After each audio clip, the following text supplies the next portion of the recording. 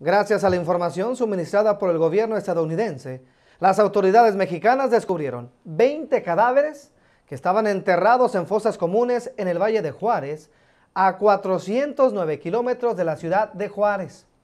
Los cuerpos son de hombres de entre 18 a 40 años. Estaban en un avanzado estado de descomposición y parece haber muerto hace aproximadamente dos años. Todos ellos murieron asfixiados con un el tiro de gracia, peculiar del narcotráfico. El gobierno local comentó que estas muertes probablemente estén relacionadas con ajustes de cuenta entre los cárteles de la droga que operan precisamente en aquella región.